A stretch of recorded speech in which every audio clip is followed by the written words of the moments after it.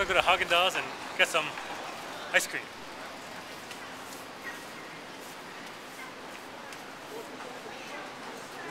Yes, we're actually sitting down and waiting for ice cream. oh my god, check this out. This is the fanciest menu I've ever seen. I mean, it's all ice cream.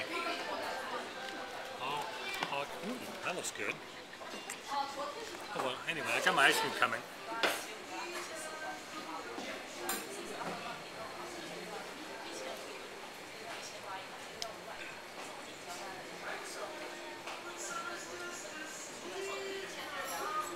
I don't know how you're supposed to act inside a Haagen-Dazs ice cream shop.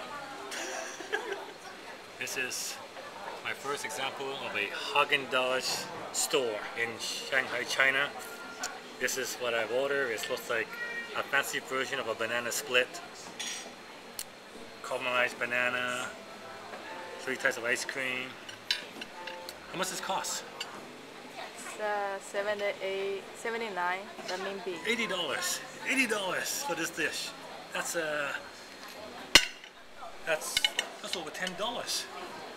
So this is like ten dollars. ten dollars. okay. Uh, most things are cheap in China, but not Haagen-Dazs. this is like a super high-end Baskin Robbins. This is a $12 dessert. Three scoops of ice cream.